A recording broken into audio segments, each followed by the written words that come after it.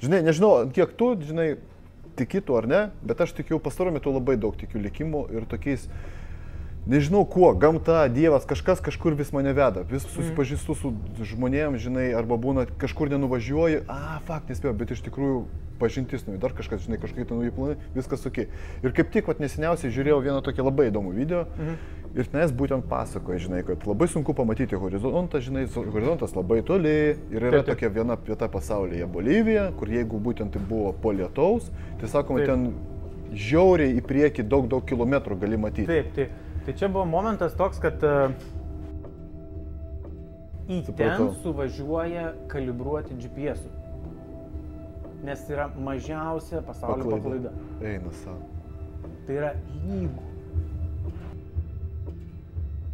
Kaip ir tas draugas pasakoja. Nu, nu, sako, pradėjom filmuoti sparų laidas.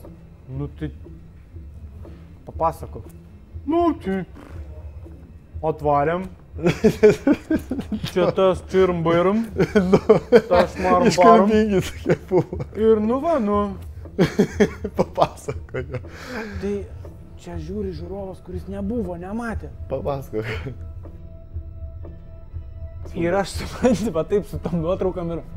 Aha, šitas. Yra, gerai, ček. Ir va taip, ir taip aš tą dieną fokinu. Turkoj? All good. Klausyk, tu tu ar taip ir išvengsi, man net gėda, žinai, sakyti, iš tikrųjų. Aš, aš specialiai nepasakoju, norėjau prieš kamerą papasakoti. Pasako kaip yra. Pas mane tiek dabar yra susiekėjai, sakykime, grįžtamas geras ryšys, kad jie ką pasako, nu pavyzdžiui, pasižiūrėjau podcastą ir parašo, blebo pasikviesk tą, žinai, jeigu aš to bičio nežinau. Okay. aš jį Pavyzdžiui. Pagūglinu, aš nepagūglinu. Aš kopiai peisti iš karto į Facebooką, žinai. Nu, ir aš ne, nežiūriu, kuo jisai užsiminėja, aš tiesiog friend request nusinčiu ir viskas. Buvau čia mes prieš e, Barceloną padarę nemažai podkastų, gal šešis turbūt, šešias savaitės, kai mes atsipūtę, sėdėm, žinai, jaučiu, kad atėjo laikas, kad nėra pat mūsų svečio podkasto jokio. Mhm.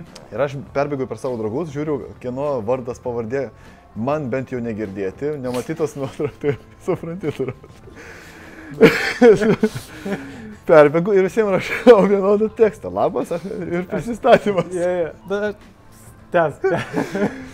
nu viskas, sutarėm su tavimi, kaip po 20 kartų sutarėm. Šiandien, lemba, žiūriu į laikrodį Andrius podcast. Andrius podcast. Bach, galvoju pasižiūrėsiu, ką jis veikia. Iš foto nesuprasi, žiūriu gerą nuotrauką beje. Su GoPro padaryta? Profile picture. Ne, ten su, su, su, su fotiku. Bet toks fišajus ant atrodo net. Jo, ten su, su, pla, nu, su plataus, su plačiu objektyvu ir ten, ten yra, ta vieta vadinasi The Biggest Mirror in the World. Čia Bolivija? Čia Bolivija. Tai va, tai ta nuotrauka yra Bolivija padaryta. Nu tai klausyk, užbaigsim. pradedu aš naršyt ir aš nesuprantu, žiūriu postus ir tu dažniausiai nuotraukose yra pažymėtas. Mhm. Ir nėra tavo face, galvoju, kaž, kuo jis užsiminė. Kažkoks, o, čia fotkina kažką, kažkoks Dakaras. Žiūriu, žiūriu, patom, cing, galvoju, koks aš idiotas. Praskrolinu, žiūriu, čia tas Andrius Blemba, su kuriuo bendravom. Ir, gal, ir man iš karto, kaip aš jam pirmą kartą parašiau, atskrolinu, what the fuck. Bet aš taip galvoju, čia turėtų būti standartinis tekstukas, toks, kur, žinai, tipo iš talčiuko išsitraukiau. Padėjai. Suvalgė, o gerai, tęsėm. Bet jie ja, nesureikšminu, žinau. Viskas normaliai? Ne, ne. Normaliai. Klausyk, papasakok apie tą Boliviją. Aš žiūrėjau, žinai, nežinau, kiek tu, žinai, tiki tu ar ne, bet aš tikiu, pastaruoju metu labai daug tikiu likimu ir tokiais, nežinau kuo, gamta, Dievas, kažkas kažkur vis mane veda, vis mhm. susipažįstu su žmonėms, žinai, arba būna kažkur nenuvažiuoji, a, fakt, nespėjau, bet iš tikrųjų pažintis, nu, dar kažkas, žinai, kažkokie ten nauji planai, viskas ok. Ir kaip tik, vat, neseniausiai žiūrėjau vieną tokį labai įdomų video. Mhm Ir tenais būtent pasakoja, žinai, kad labai sunku pamatyti horizontą, žinai, horizontas labai toli ir yra taip, taip. tokia viena vieta pasaulyje - Bolivija, kur jeigu būtent tai buvo po lietaus, tai sakoma, taip. ten žiauriai į priekį daug, daug kilometrų gali matyti. Taip, taip. Tai čia buvo momentas toks, kad uh, jeigu tą dieną pasakočiau nuo pradžių, tai būtų taip. Reiškia, pabandau susidėlioti dabar. Jo, uh, ryte, uh, kadangi, nu, Dakaro karavanas nestovi, jis visą laiką važiuoja, nu tai tu turi vytis pastovi. Nu, o mes kaip medija, tai dar ir turim ir aplenkti kartais, žinai. Tai pakankamai ankstyvi. Aplenkti Dakaro ralio. Supranti, jie važiuoja, O tu o mes galim, kaip Supratau. sakant, nu, susirasti shortcutą. Bet tas shortcutas nereiškia, kad bus shortcutas. Nes, nu, a, taip, kad, kaip aš čia daugelį sakau, vaizdžiai, kad suprasti, tai atsikeli ryte, varai į Klaipėdą, žinai, kad Klaipėda ten, nu, bet kažkur ten. Taip. Nu, tai va, maždaug va, tokiu atstumu, va, ten kažkur mes ir važiuojame. važiuojam. Ir maždaug žinodami tik kryptį. Nu, preliminariai žemėlapį kažkokį ir vinioja. Tai tą dieną mes uh, nusprendėm, kad, uh, reiškia, mes juos pusiaukeliai pasigausim. Nu, reiškia, įlendam į jų maršrutą kažkur tai ir pasigavom. Nuvažiavom kokį pusantro šimto kilometrų, nieko neradom. Nėra, nebuvo ir nebus Dakaro. Nu, viskas. Keičiam planą, planas B, važiuojam į finišą. Nu, finišą tikėtina, kad rasim. Važiuojame į tą finišą. Vienintelis kelias asfaltuotas, pakankamai superinis kelias, tiesus, kai styga, žmonių matom, yra viskas čia veiksmas į tą pusę. Reiškia, važiavam, važiavam, važiavam, važiavam, preliminarų mes žemėlapį turim. A, kažkur trasa, mes čia šonė važiuojam ir kaip ir aišku, kur turėtų būti finišas. Ir pagal žmonių koncentraciją suprantam, kad, nu, turbūt čia. Bet mes gerokai per anksti, nu, pagal laiką tai primetėm, mhm, nu, turim kokias dvi cielas valandas, kad dar galėtume kažką padaryti. Nu, ir GPS'as, o. Ežeriukas. Ta diena kaip tik lyja. Nu, reiškia, prieš. Taip. Nu ką, važiuojam. Reiškia, mum iš šono nusukti kokį kilometrų ten, nedaugiau, nu iki pus, va iki šimto. Nuvažiuojam į tą ežerą, pamatom tą ežerą, viskas, o, a, a, va taip. nu, tarsi, protų nesuvokiama, bet paskui tik tai suvoki. Nu, ir stovi toks veidrodis. Čia matai turistus vežioja su tokiom senoviniais gruzovikais, ten kaip keuliukus suverčia į kuzavą ir kažkur į horizontą ir dinksta. Matom, ten grupelė, ten grupelė. Mūsų driveris taip, nu gal nevažiuojam, nesgi visgi druska, čia mašina, nu. Bet, pažiūrėjau, visi važiuoja, nu, tarsi, tiek toli dasigavę ir nenuvažiuoti, nu būtų, nu, kaip abydų. Taip. Nu, varom. Nu ir mes varom ir pradžioje tu dar važiuoji, nes visą laiką tiek yra vandens. Per šimtą kilometrų horizontas keičiasi pusantro centimetro. Kad tai, yra- ta prasme. Tai yra, kad ant tiek yra lygus paviršius. Į ten Supratau. suvažiuoja kalibruoti GPS. -ų. Nes tai yra mažiausia pasaulio paklaida. Eina savo. Tai yra lygu. Aišku, yra ir duobių, nes a, iš kur jos atsiranda. Reiškia, valstybė leidžia iš ten kasti druską. Nes ten yra mm, 20 metrų berots druskos. Eina savo. Ta prasme, tu gali kasti, kiek nori, nenaudodamas jokios technikos. Tai yra šuteliukų, Tai vietiniai atvažiuoja, tas su tačkela prikrauna, ar ten kažkas, žinai, lomzikų išpjauna, nes ten tokius luitus jie Nu, nu, pjauna. nu, nu. Iš tų luitų jie stato ir namelius savo, ten viską. Ten, nu, tu ten kūrybingi jie, žinai. O kai palyja, Viskas susilygina. viskas lygu. Tai mum važiuojant matėm vieną mašiną. Šonu. Bandė ten ją ištraukti. Bet mes taip važiavom, kur visi važiuoja, reiškia, nu taip, vėžėmis tom vadinkim, žinai. Tai, nu jau nuvažiavom toli, jau taip nuo kranto, jau čia, o kaip toli, ir taip atsidarau žemėlapį ir mes vos pajudėjom. Jis ant tiek didžiulis. Toli, toli, dar ten kažkur kažkas. Jis žiauri didelis. Bet kodėl tai skaitosi, kad tai ežeras? Nu, nes ten yra išdžiūvęs ežeras. O Tai kai ten- palyja viskas stovi. Įdubo tokia gauna. Nu, salginai. Bet sakyk, kad tiek. Tik tai. kai prilyja, tai va ten, nu, nu, geras sprindis vandens būna. Ir viskas. Ir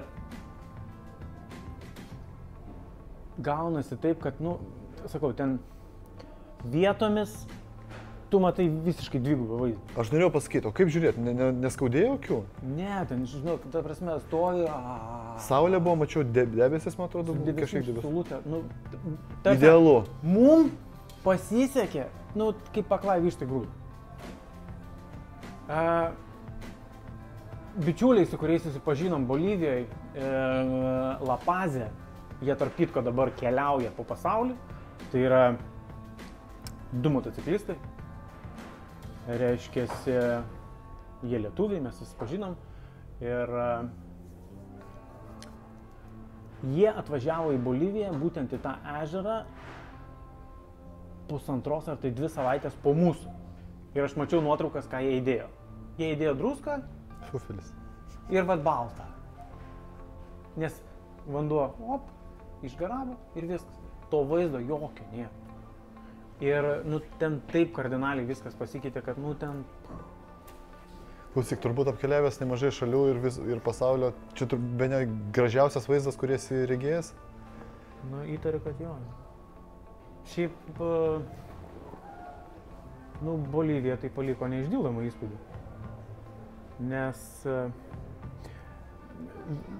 toks paminėtinas momentas mums labai pasisekė, mes kai buvom Lapazė, kuris skaitosi sostinė, nors tai, tai nėra sostinė, sostinė yra kitur, bet visos valstybinės įstaigos, būtent tik tam mieste ir prezidentas gyvena, tai nu, toks pseudo sostinė. Tai mums kaip Dakaro, reiškia, dalyviams buvo galimybė gauti tokį turistinį tokį žygį po miestą. Reiškia, jie turi be neilgiausią miesto gondolų tinklą. Reiškia, cable carai tie vadinami. A, aš galvoju, labai girdėjau. Nu, nu. tai sujungus tris linijas, kurios yra spalvomis geltona, žalia ir dar kažkokia, nebepamenu. Reiškia, sujungus tas tris spalvas, tas tris linijas, kurios viena su kita iš tikrųjų jungiasi, gaunasi 36 km. Pala, man atrodo, Bolivijoje yra ne tas pavojingiausias kelias. Taip, jisai nuo Lapazo yra nutolęs per e, 60 gal kilometrų. Tai vienas iš, iš, iš, iš, iš, iš, iš bičiulių, kuris buvo, jis irgi buvo kartu ten paskui vieną komandą sekė, e, reiškia, tai jisai, jisai paėmė, nes ten galima dviračiu pravažiuoti tą kelią. Tai jis išnuomavo dviratį ir išvažiavo tuo keliu pravažiuoti, nes sakė, nu aš, aš negaliu nevažiuoti, man reikia. Tai jo, tai neišdildomi ir pas jį buvo įspūdžiai. Tai ką turiu omeny, mes gavom labai gerą ekskursiją po Lapazą Mhm. ir aišku, mums ten sakė truputėlį, kad mums ten propagandos ten visokios pripylė, nu, ten pripylė ir, ir pripasakojo, a, nes su mumis buvo vienas vietinis, pavadinkim, žinantis tą kultūrą. Jis ne bolivietis, jis truputį lietuvis, gimęs Amerikoje, gyvenantis, reiškia, Argentinoje. Tu taišas. Kaip pas mus. Kaip sakant, šeim, šeimoje šaknų yra lietuviškų, mama lietuvė, nu, bet e, ir, nu, mišinys. Mhm. Bet uh, žiauriai kietas bičias. Tai jisai mums ir pavertėjaudavo, ir, ir, ir, ir, ir, kaip sakant, pasakydavo tų niuansų vietinių ir taip toliau. Tai, bet mes pamatėm tą kultūrą, mes uh, tokia, pakeliavom, reiškia, autobusais, pavažinėjom, parodėm ten ir uh, keletą ekskursijų pravedė. Tai plus, uh, kas paliko tokį nemenką įspūdį, aš net telefonu įsirašiau visą tą apieigą, tai kaip vietinis indėnas, reiškia, aukoja smilkalus visokius, kokos lapus, e, kažkokį tai taurų medį, reiškia, į smilkalus, pa, nu, paleido į dūmais ir aukojo ir savo ten kažkokiems devams, nu, ten labai daug niekas nepavertėjavo, tai Mhm. mhm. mes taip improvizavom, ką mes čia matom. Su tautiniais šokiais, su tom visom apieigom ir viso to kulminacija yra ugnis.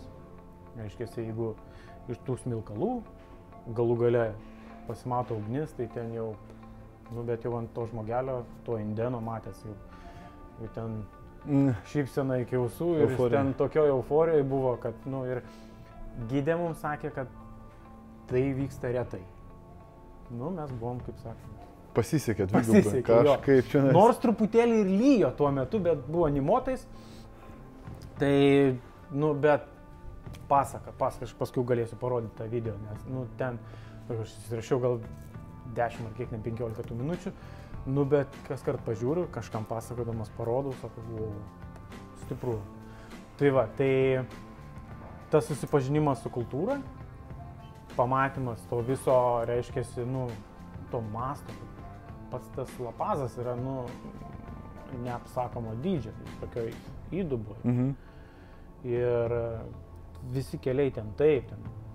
Mes, pavyzdžiui, iš Bivako važiavom į savo viešbutį, kurį mes atseit, nu, užsirezervavom viešbutį, kaip ir viskas čia pasižiūrėjom pagal žemėlapį, čia, va čia, Nu, čia, va tuo jau privažiuosim. Bet jeigu tai važiuotai. Su sąlyga, kad ir vyko tas e, visas, reiškia, karavanas tų Dakaro dalyvių, kurie įvažinėjo į miestą, tai viena gatvė pagrindinė uždaryta. Mes iki savo viešbučio važiavom 2,5 valandas, galų gale dasibrovėm, jau ten e, apsauga stovėjo, neįleidome, pradėjome aiškinti, kad mūsų čia viešbutis mums reikia.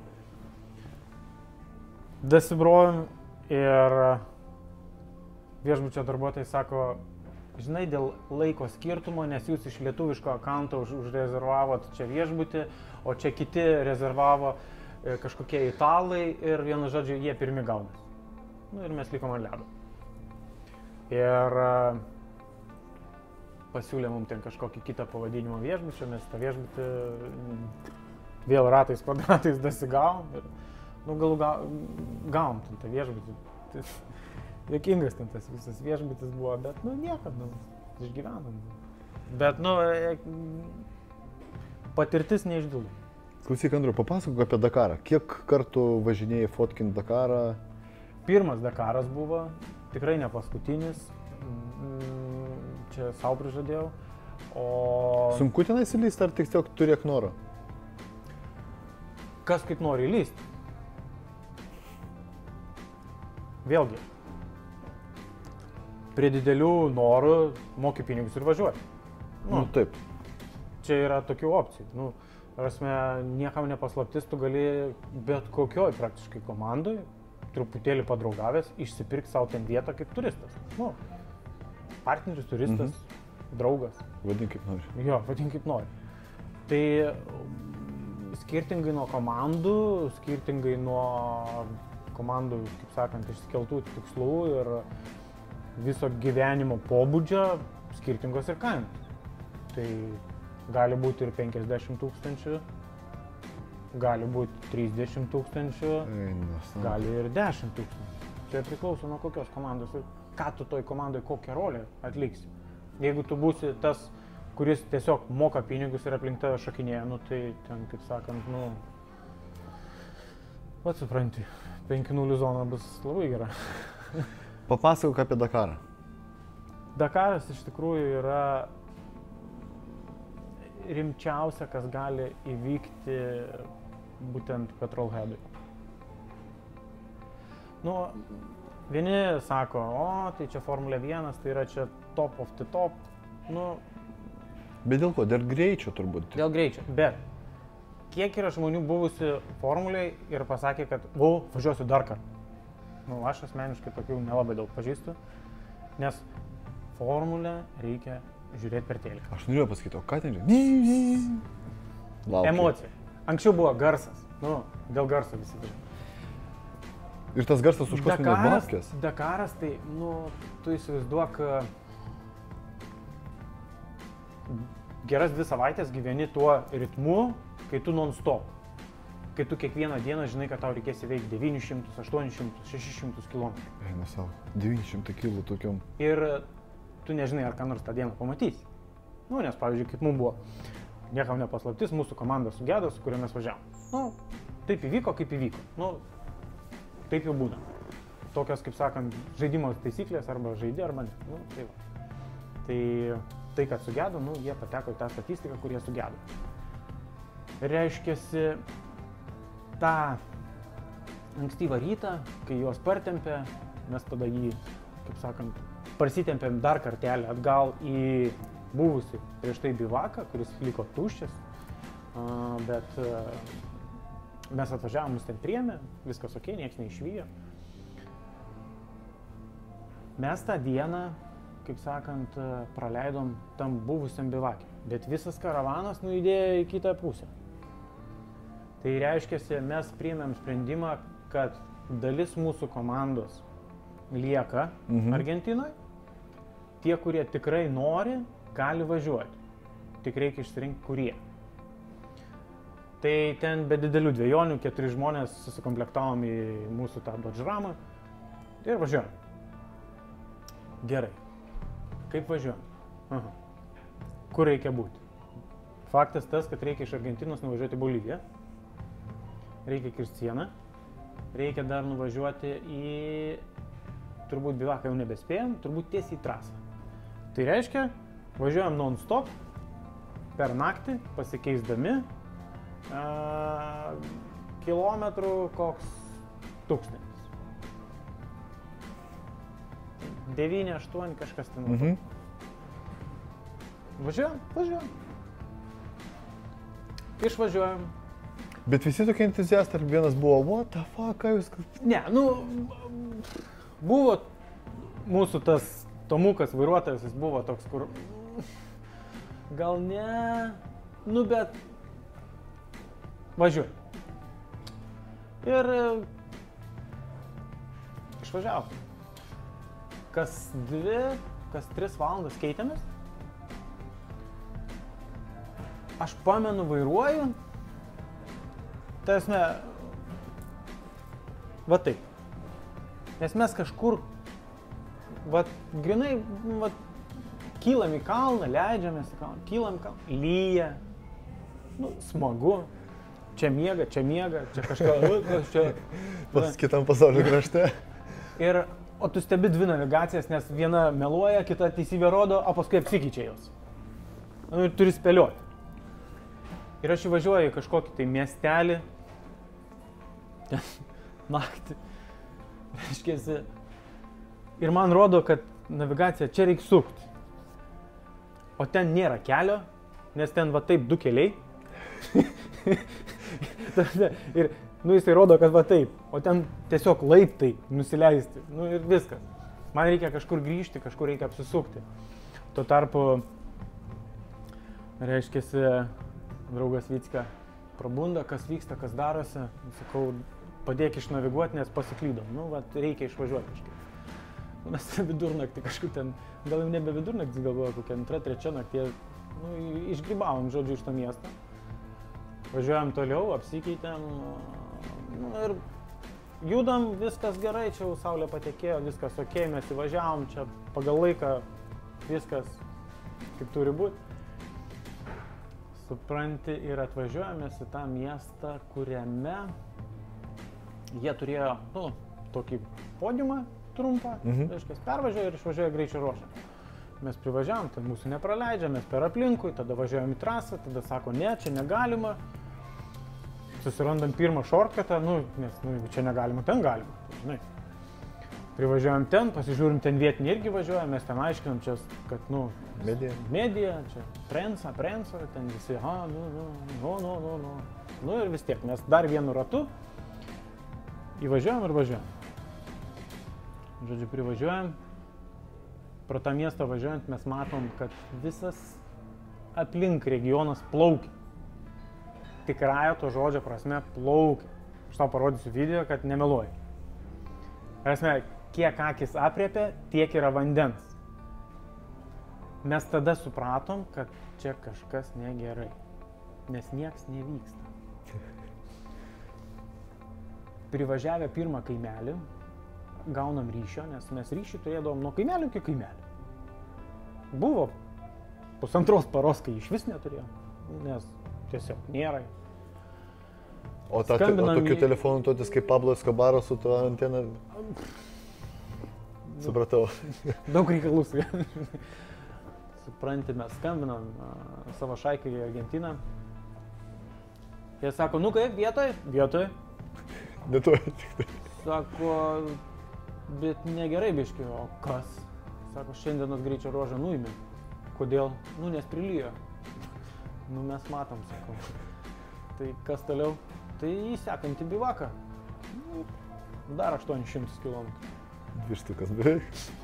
Tai va, taip, taip va tokių dienų būdavo ten. Supranti?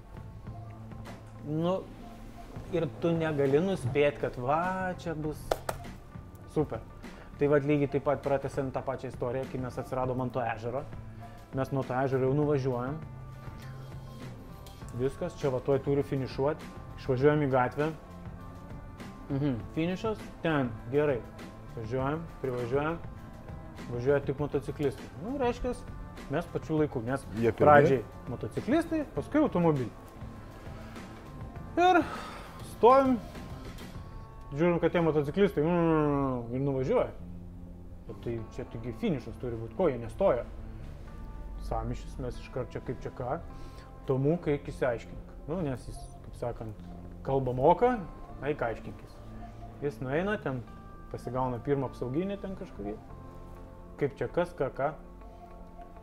Sako, 60 km greičio ruožas sutrumpinta.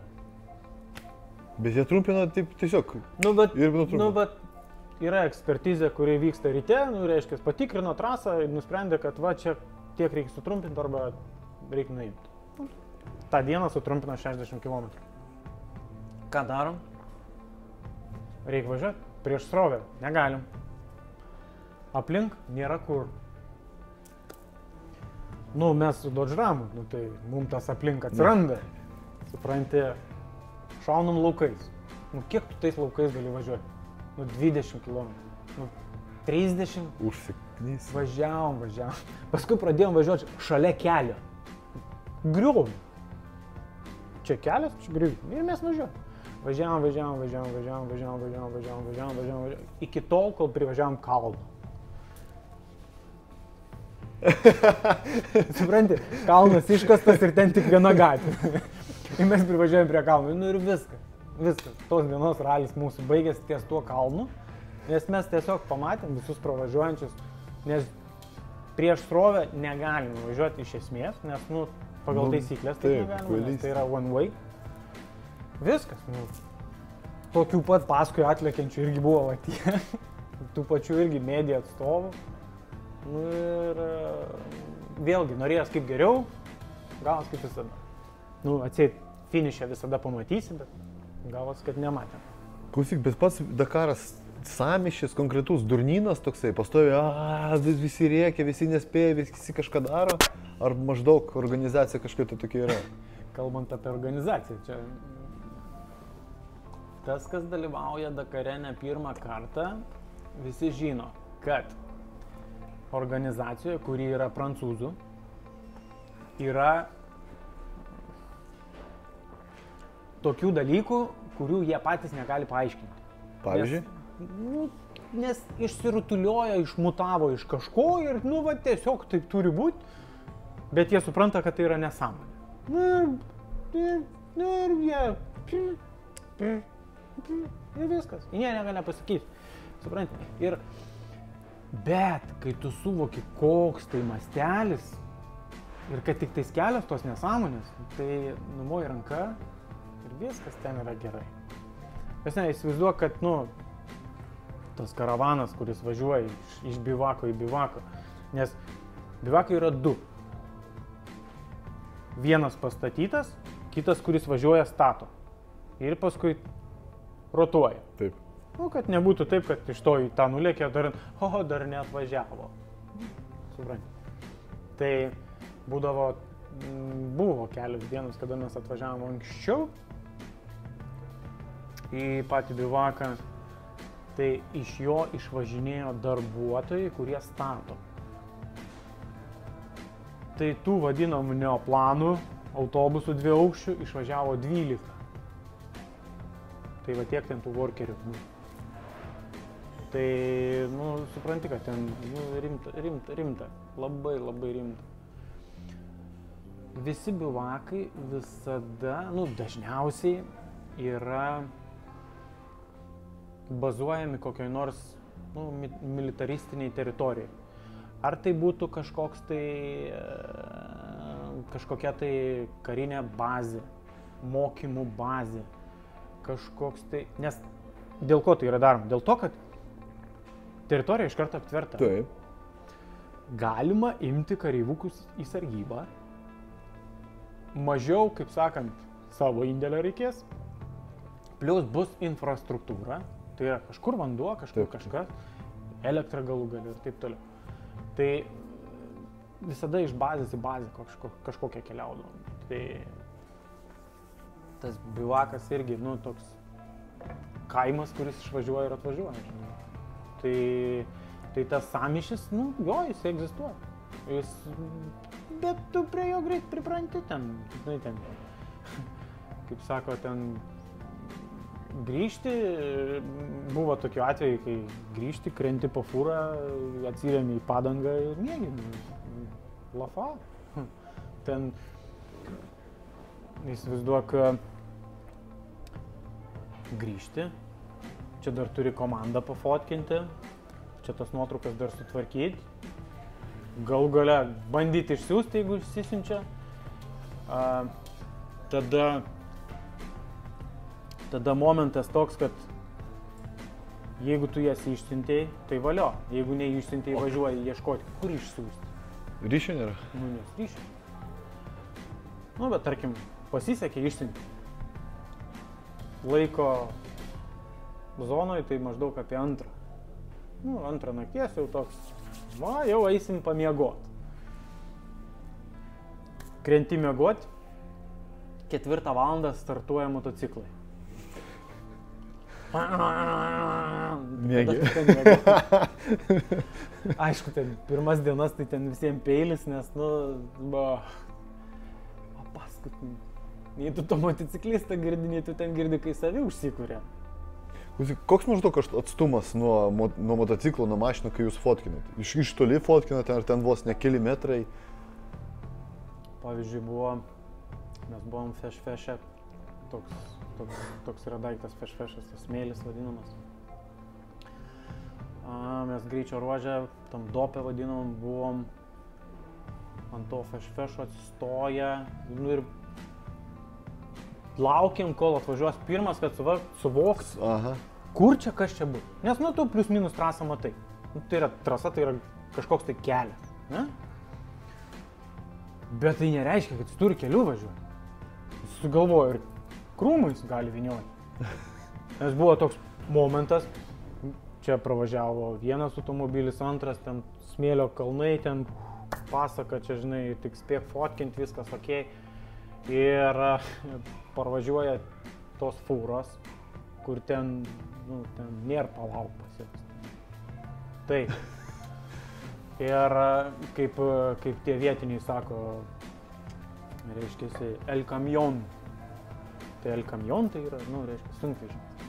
Ir tik tais, kai išgirsti, kad vietinis El Camion, tai žinau, kad jau, jau reikia atsitraukti. Ir buvo toks momentas, aš, Vitukas ir Tomukas, reiškia, sustojant tokio posūkio, kuris, nu, toks hop ir nusisuka. Žinai. Nu, reiškia, pradžioje atvažiuoja į tave ir nusisuka. Nu, kadras ledinis, nu, pasaka. Pakankamai saugiai, nes koks nuo posūkio gal 20-30 metrų, pakankamai toli. Plius, kad tas posūkis lėtas, viskas ok. Parvažiuoja tas El Camion, mazas, kolegų iš, reiškia, mazo gamyklos. Dabar galvoju, gal... Neprisiminsiu, kas už vairo. Gal Išnievskis. Gal... Ne, Vizovičius. Gali būti, na, nesvarbu. Nesmė. Parvažiuoja ir jisai taiko apžergti vėžės. Nes vėžėse jau pakankamai gilu, jis ta, taiko apžergti. Ir kas gaunasi, įsivažiuoja į posūkį ir viena vėžė įkrenta taip. Per smėlio debesį mes tik matėm, kad jisai virsta. Ir tada tik tai Vycka! Tomukas, ir aš bėgom. Ir visi mes atsitraukiam ir tas debesis taip ir nuvažiuoja. Nes jo mes net nebematėm. Matėm tik debesį. Debesi. Aš paskui pasižiūrėjau paskutinės fotkės, tai ten langiukai matosi tik tais, nes daugiau nieko galėsiu parodyti. Suprasti, kokio ten masto tas smėlis ir kaip ten tas viskas atrodo. Tai kad ir kaip atrodytų tau saugu, bet yra nenuspėjama. Tai, nu, visada, Nu kur, blemba, tiek tonų lekia. nu taip, nu, tu kaip ir rizikuoji, bet kai tu tą darai ne pirmą dieną, nu, tai tu suvoki tą dinamiką. Nu, kaip jis judės, nu, jis, tu neatlieks iš karto. Nu, nes kai, žinai, kai, kai man sako, kad, tarkim, paimkim klasikinį ralį, reiškia, kad ir lietuviškais tais dopais, oi, kur ten stovi, nu, žmogau, nu, nu ašgi ne pirmą dieną atėjau čia į tą ralį. Nu, ašgi žinau trajektoriją, kaip jisai gali judėti. Bet kad jisai gali būti nenuspėjamas, tai irgi šimtas procentų. Nes gal jis važiuos ir jam ratas nusisuks ir tas ratas ateis ir visada yra rizika. Bet, nu, tokia žaidimo taisyklė. Tai kaip ir susitaikai su tuo. Vėlgi, buvo tokių momentų, kai fotografavom, nu, praktiškai per metrą nuo mašinos. Eina savo. Metras. Nu, va, Nu jo, va. va, jo. O vairuotojai pyksta? Ne, jie euforija, žinok. Jie, va, kaip žinai, kaip tie arkliai, va. Jie, va, tuneliu varo. Nes, nu, tu įsivaizduok, kovinių režimų pusę dienos. Šimtais kilometrų. Jiegi ten, va, užkipto atiduoti ir varo, va. Uuu. Nu, ten, va, kaip, e, kai buvo įvykis, a, žala važiavo ir jam, reiškia, ten truputį pagėdo, pabiro a, generatorius. Tai krauna, tai nekrauna, galo paskui nebekrovė. Energijos trūkumas, įjungi šviesas, mašina, b, b, b, b, b, b, reiškia, dūsta. O jau temsta. Ir Vaidas sako, sako, įsivaizduok, man buvo baisu važiuoti. Nu, jeigu jam jau baisu buvo Tai važiuoti, reiškia, tikrai baisu. tai jau tik, sakau, kaip. Sako, varau be šviesų. Saulis man sako posūkį. Aš įjungiu šviesas. A, tikrai posūkis. Pasistatau mašiną, išjungiu po, nu, šviesas. Sako, posūkį išėmėm ir važiuojam toliau. Sako, man vėl pasako posūkį, aš šviesas įjungiu. Aha, yra posūkis. Hop. Ir va taip nuo posūkio iki posūkio šviesas įjungdamas tik posūkį. Sako, patikėk, buvo baisu. Tai va taip jie kartais važiuoja. Tai, nu, Klausyk, mirtinų atvejų būdavo, girdėjau, man atrodo, vos ne kiekvieną kartą būna e, vairuotojų. O su medija buvo kažkokių nutikimų, kad nutrenktų kažką, dar kažkas. Bent jau aš neužfiksavęs ir ne, ne, nesu girdėjęs. Galbūt, kad sužalotų, nu, tai neatmetu galimybės, nes... a, Nu, tai ten, kad ir mes patys, nu, ten ir buvo tokių, kur, va, nu, Vycka irgi ėjo, ėjo, ten kažkaip kaktusą užmynė, ten nepastebėjo. Nu, ta Nu, čia nu, bet, tai, žinai, nesiskaito. tai, tai, nu, tai, toks iš gyvenimo taip jau ten gaunasi, žinai. Bet, e, nu, ten paslydo nugriuvo, tai aš neskaitau čia, žinai. Klausyk, bet teoriškai, kaip ir sakei, dieną nufotkinai, atfotkinai visą dieną, įstatai kortelę kompą, redaguoji pats. Tai, jo, tai, matai, būdavo tokių momentų, kai, tarkim, kad ir pačią pirmą dieną, kuri, nu, vadinasi prologo diena, reiškia, jo nu, važiuoja trumpą atstumą. Nu, va taip, jeigu nuosekliai papasakot, ne? Reiškia, mes juos išleidžiam. Mes nuvažiuojam iki starto, su jais prasilenkiam startą, viskas ok, jie po ten kokių 10-15 mašinų važiuos, mes privažiuojam prie starto, metam automobilį, pasileidžiam paskui, reiškia, nu, palei srovę, Mhm. kelkraščių ir kuo toliau. Nes niekam nepaslaptis, jeigu tu nueisi 2 km ar tu nueisi 20, nuotraukoje gali atrodyti lygiai taip pat. Nu tai tiesiog naudojasi progą ir ką gali greičiausiai, tą ir pateiki. Tai mes pasileidžiam ten vėlgi su, kuriozais, ten pribėgam tvorą, tai už tvoros ten keulės ganas, kažkokias ten bėgioja dar, stovi vietinis, jis ten jau ištempęs laukia, kad mes praeitume ir mes prieinam, tipo, jo, jo, eikit, eikit. Ir mes jau ten lyst ir jis jau mums ten pradeda kažką ispaniškai ir mes, kas, kas, Tomuk pavertėjauk, Tomukas sako, pinigų prašo. Ačiū, ne. Apeinam aplink. Na, aplink 50 metrų. Kodėl ne? apėjom, nu tai žinai, problema, nėra problemos. Pasileidžiam toliau, nueinam, atsistojam į tą vietą, kur mes sugalvojom, kad, nu, čia bus gerai. Tokia iš posūkio tiesioji, gražu, palmės, ten kepina saulė, 40, nu, toks faina. A, atvažiuoja mūsų komanda, mes nupaveiksluojam, viską padarom, ką reikia. Įkomponavom nuotrauką taip, kaip norėjau aš, kad būtų, nes a, norėjau, kad būtų pirma nuotrauka, kurioje atsispindėtų ir nuotaika, atsispindėtų ir kas tai Per per, per, per, per važiuotojai, reiškia, nu, galbūt ne visi pažįsta automobilį, bet jeigu trispalvė bus, tai visi, kaip sakant, atpažins. Tai paprašiau, kaip sakant, e, Tomuko, kad Tomukas su trispalvė mujuotų. Vėlgi, ties pirmais keliais automobiliais mes pasibandėm, kaip tai atrodytų, kur man reikėtų stovėti, kaip jam reikėtų mujuoti, nes, nu, taigi paimsi, pamaskatuosim, nu, tai, žinai, skudras. Nu taip.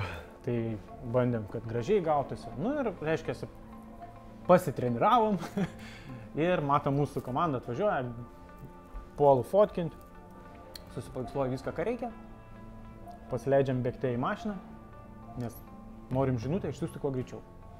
Kadangi mes ten kaip ir miestelėje, tai matėm, kad ryšio turim, greitai kortelę į kompą, iškart tvarkyti, sutvarkau vieną nuotrauką, kuri būtų pagrindinė ir tai dienai būtų aktualiausia, mhm. kad startavo, prasidėjo ir važiuoja. Viskas kaip ir gerai, ryšio turim, iš e, telefono Wi-Fi pasidarau, viskas prisijungiu, čiuk čiuk čiuk, siūst, nesisiunčia. Ryšys yra, nesisiunčia. Važiuojam toliau. Pavažiuojam porą šimtų metrų, įkalnėt, atsistojam, nesisiunčia. Ryšys yra, bet nesisiunčia. Pla, mes net, nes nekalbam apie 4G, turbūt Ne, netgi... 3G buvo paprastas ryšys, normaliai. Nu, Gerai, kad bet gi- Buvo ir tokių. Bet ten tik pažiūrėti gali. Va. Ir supranti, nu nesisinčia. Tada Tomas Markelevičius buvo. Jisai žiūri, brauzina po internetu. Kaip, čia sakau? Man sako, va, veikia. Davai, mano atjungiam, jungiam jo. Aš prisijungiu. Op, nuotrauką kelt. O, įkėlė. Viskas gerai, čia išjungiam, taip, taip, taip. Reiškia, lekiam į finišą, nes pasitiksim, nes ten trumpas atstumas. Kita mūsų komandos dalis jau nuvažiavo irgi tenais. Reiškia, visi mes krūvoj susitiksim. Ir kažkaip važiuojam, važiuojam, ryšys pas mane irgi liktai atsigavo, aš pradedu skrolinti. Nėra jokios nuotraukos, kurią aš įkėliau. Man rodė, kad įkėliau, bet neįkėliau. Tada aš imu dar kartelį, jau persimetu tą nuotrauką iš, te, nu, iš kompo Iškompa į telefoną. į telefoną ir jau tada, nu, okei, okay, pamažinam kokybę, dėsim taip, viskas bus gerai. Keliu tada iš, reiškia, iš telefono, tas vyksta visas tas, va, ką aš čia vardinu, pusvalandžio to eigoje. reiškia, op, įkėlė, viskas, žinutė, tą pačią parašiau, viskas ok, važiuojam. Ir uh, išsiaiškinom, kur mūsų šaika, mes jau, kaip sakant, link jų. Kita komandos dalis juos jau pasivijo, tada jie perima greitai mūsų sugalvotą rolę, reiškia, jie daro iš karto į Facebooką live, nes ryšys geras ten buvo, jie į Facebooką live, pirmas interviu į 15 minučių ir taip toliau, Nu, kaip ir viskas pagal planą, mes dasivėjom juos, aš privažiavęs pradedu scrollinti, nes pas mane jau irgi pradeda veikti normaliai ryšys. Atsidarau, Dvi nuotraukos vieną paskui kitą, reiškia. Tai visgi ta nuotrauka kažkur tai pakybo ir paskui... Po to dasisiuntė. Jo, dasis. Suprantat, nu ir toks, nu, nu, kad ir kaip tu stengsies, kad ir kaip tu norėsi, kad viskas vyktų greit, nu ten nevyksta. Ar ne? Ok. Uh, Juknevičiaus Kebra turėjo palidovinį internetą. Karaliai. Nevykė. Karaliai. Esmė, buvo tikrai vietų, kuris įveikė ir buvo, mua, sakė tikrai, nu, va, šventa. Bet tokia lėkštė ant stogo, ją sukonstruoti ten gulščiuko pagalba ir panašiai, nu, esmė, tiek, kiek jie užtrukdavo ir tą, ką jie gaudavo, tai, nu, neatsiperka ta investicija. Top komandos tuo tarpu turi ant automobilių, reiškia, nu, ant savo tų kemperių, mes nuėjom patsekavyti, kaip ten pas juos vyksta, tai pas juos po du palidovinius. Reiškia, tai bliūdai netokie, gražus tokie, karboniniai, mažiukai, kurie patys pagal ten, kaip sakant, ką reikia nusistato ir ten viskas pas juos veikia, tik tais ten, nu, kiti reikalai. Nu tai. Tai va, tai... Tai viską galim nugalėti išskyrus internetą. Klausyk, bet, Andriu, kad Dakaras, aš taip supratau, grinai kaip gyvenimas. Ta prasme, niekada nežinai, kas tavęs laukia, Ne? kaip, kaip pradėsi, kaip nori užbaigti be šansų. Ta prasme, nuves ten, kur tu net neįsivaizduoji, kad gali taip nuvesti. Tai pabandyk įsivaizduoti. Um, nežinau, kiek sekėjai, kiek nesekėjai, bet uh, buvo momentas, kai dėl liūties mm, buvo pakeista bivako vieta. Iš numatytos į kitą. Reiškia, kokia tai buvo situacija? Buvo daug lietaus, ko pasiekoje kalnų nuošliauža O, ką jinai padarė, jinai nunešė kaimą. Kaimas su keliu, per kurį mes važiavom tris kartus. Mes atvažiuojam, mes matom, kur mums reikėtų, mhm. praktiškai horizonte matom, kur reikia važiuoti, bet ten nebepravažiuosi. Ir ten turbūt, aš nežinau, po kiek laiko ten tik tai kažkas pravažiavo, nes kai buvo iš e, sveiktasparnio nuotraukos įdėtos internete. Va. Plynas laukas. Buvo kaimas, nėra kaimas. Nėra kaimo. Viskas. Ramu. Ir ką organizatoriai mums davė, mums davė, reiškia, apvažiavimo kelią. Tai reiškia, reikėjo mums per kalnus. Į tą vietą, kurią mes matom, reikėjo važiuoti per kalnus. Nei daug, nei mažai. 380 km. Nu taip. Va taip. Iš jų šimtas per fešfešą naktį. Niekam to nelinkiu. Tai esmė.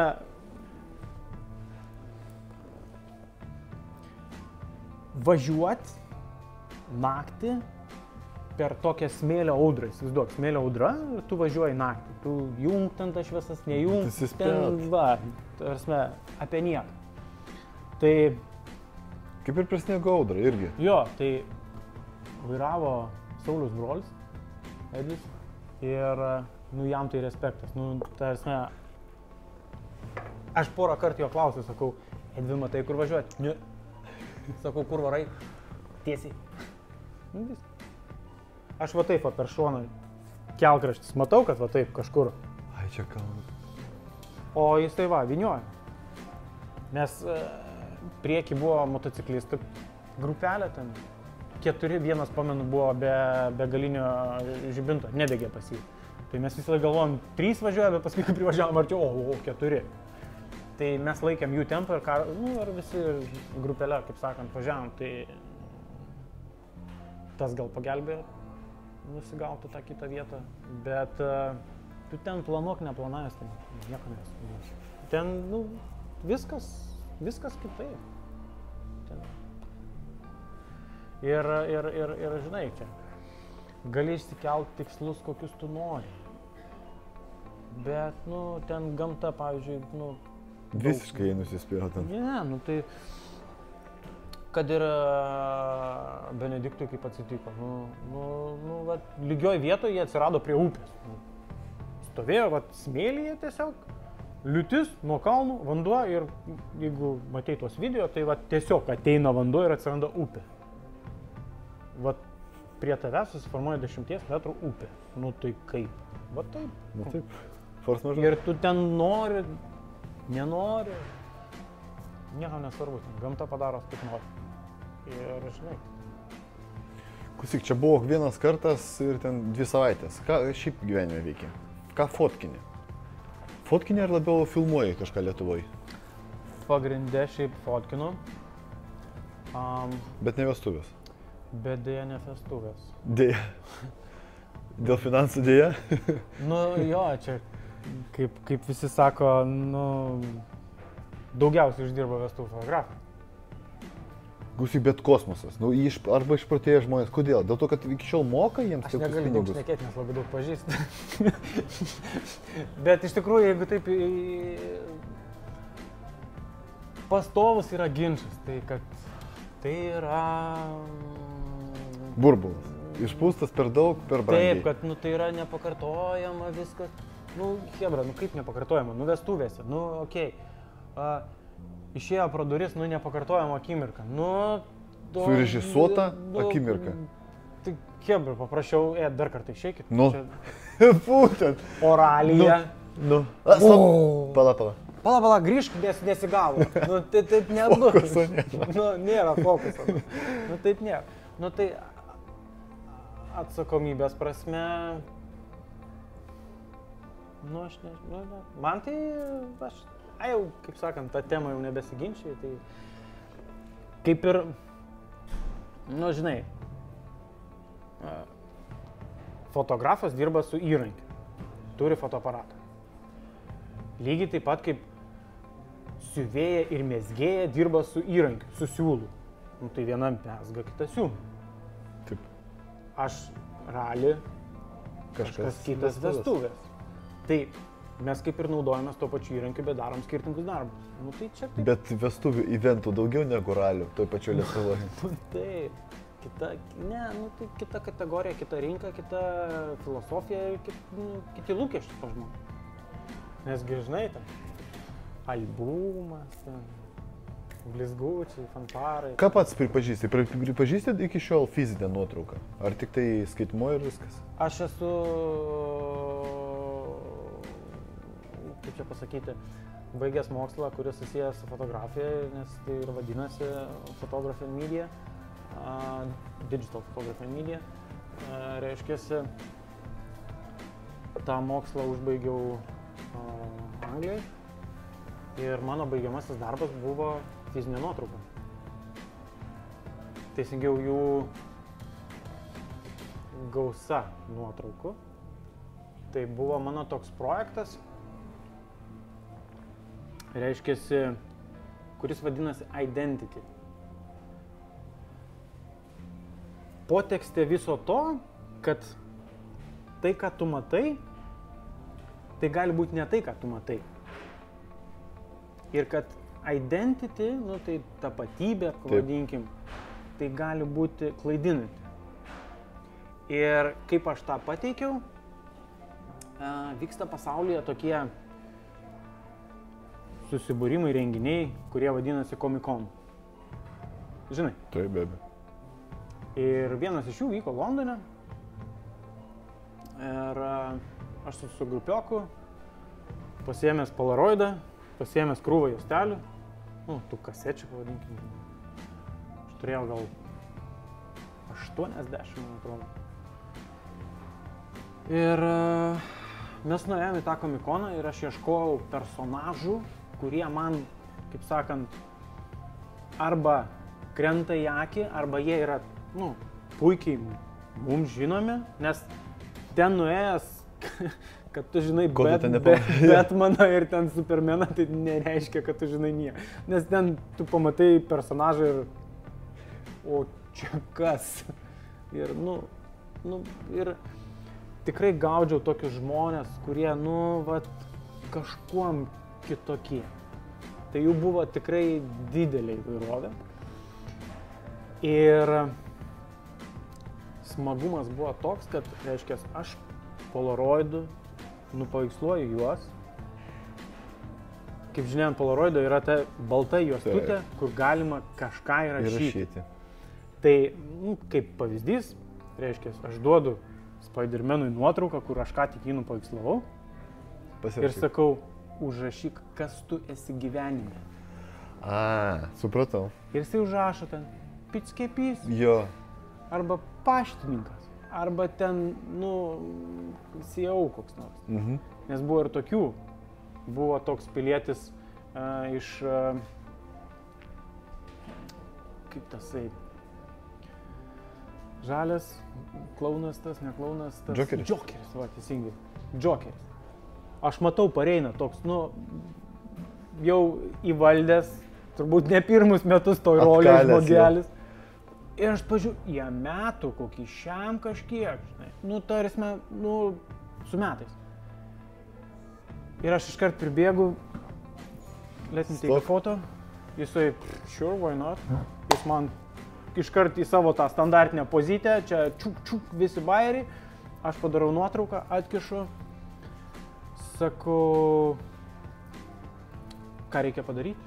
Jisai jokių problemų, ima iš karto, pradeda rašyti ir aš atsitraukiu. CEO of... CEO ir ten kažkokia kompanija. Aš dabar tikrai nepasakysiu kokia, bet kai grupiokui parodžiau, grupiokas sako, rimtai. Sako, čia viena iš didžiausių kažkokių tai ten kontorų. Tai, tai ir buvo tikslas parodyti, kad, nu, vienas gali būti žmogus vienam, kitas kitam. Ir tai gali būti vienoje vietoje. Jo. Tai ir aš po to sudėjau į tai vieną šalia kitos, tokį didelį, didelį kvadratą tų nuotraukų, atrinkau, kurios tikrai gerai atspindi viską. Ir e, įrėminau didelį stiklą, tuo pačiu išleidau knygą apie kiekvieną aprašą. Knygoje visi atskirai kiekvienam puslapį buvo sudėti. Ir toks buvo mano baigiamasis darbas, kurį vertinu aukščiausiu pažymį. Toks, toks, kaip sakant, pavykęs, įgyvendintas, geras, ne eilinis kažkoks tai fotoprojektas, toks, kuris man asmeniškai buvo jį fainai gyvendinti, visą tą nu, istoriją padaryti tokią ir kur tu žiūri, aišku, dabar aš neturiu, neturiu to parsivežęs į Lietuvą, jis liko Anglijoje, pasesė dabar namie, labai, labai tam skirtoj vietoj dabar kabo, gražiai, reiškia, saugomas, prižiūrimas. Ir, ir tu žiūri tas nuotraukas, jų daug tikrai, ir tu ten gali, mat, kiekvieną kartą atėjęs pasižiūrėti, tu gali pamatyti kažką kitą. Ir visą laiką gali pagalvoti, tu matai vieną, bet užrašytą kitą. Tai, nu, perkeltinė ten viskas vyksta, bet labai labai, nu, man ta tokia mintis buvo, norėjusi gyvendinti kažką ir pavyko įgyvendinti, įvertino teigiamai. Wow, super. Tai jo, nu, aš vertinu iš tikrųjų tą popierinę fizinę nuotrauką. Dar ir dabar turiu ir uh, taip sutapo, kad uh, čia ne per seniausiai buvo tokia Snap konferencija. Mhm. Tai jos metu nusipirkau a, juostelę. Dėsiu tą juostelę į labai ikoninį fotoaparatą, tai yra Zenitas. Aš noriu pasakyti, nesakyk, kad zenitas. Va. O iš tikrųjų turiu dar vat, prieš kokį mėnesį, gal pusantrų, Kalvarijų turgų, turgui nusipirkau smeno fotoaparatą supakuotą. Tarsi, Tai jis aukso vertės turėtų būti. aš jį išsipakau pats. Tarsi, ir jisai skirtas eksportui, nes viskas angliškai, mhm. smėna. Prasme. Nu, plastiko gabalas, bet, nu, toks, kaip ir, nu, tas nelabai vertingas palikimas, bet ta emocija, kad pats propakavau, pats išėmiau, pats pažiūrėjau, nu.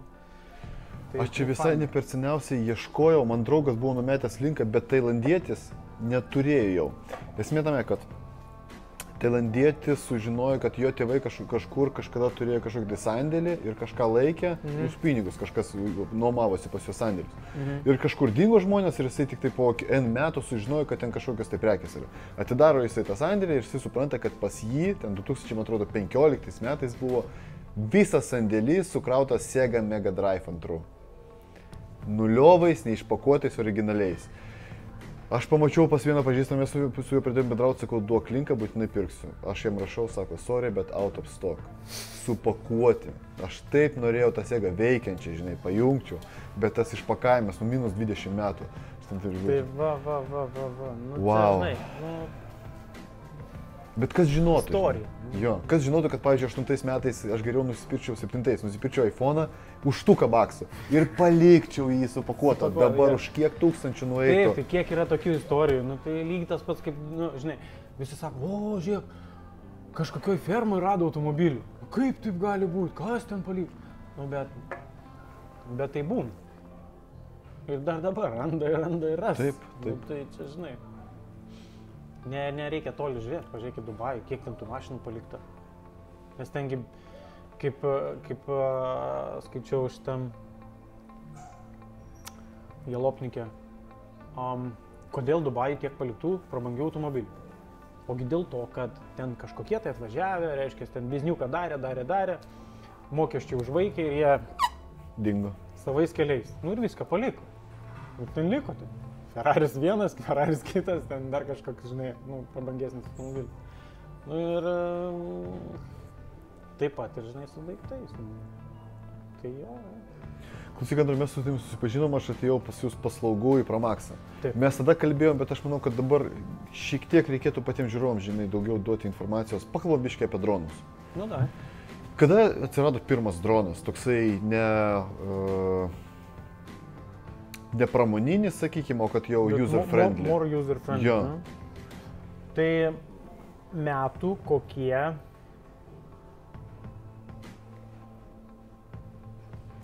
Penki gal. Prieš nedaugiau. metus. Taip, Nedaugiau. bet pati bomba dar sprogo, jeigu ne praeitais, tai užpraeitais, tai tikrai metais. Jo, tada viskas, e, pavadinkim, mm, buvo, aišku, dronai kaip pats daiktas, tai egzistuoja jau metų 30. Taip. Ta prasme, paprastas straktas, pavyzdžiui, Nu, taip. Tiesiog seniau buvo viskas sudėtingiau. Tu pirkdavai detalės, jas dėdavai į krūvą, jungdavai, programuodavai, blablabla. Nu, ilga istorija. Bet kai pats bumas atsirado, tai atsirado tada, kai traukdavai iš dėžės, pakrauni ir skrendi. Valia. O jisai dar pats už tave galvoja. Nu tai čia jau viskas. Tai čia, nu, keli metai atgal. Du, trys. Ir tas bumas tik didėja. Ir, nu, kaip, žinai, truputėlį tampa mados reikalu.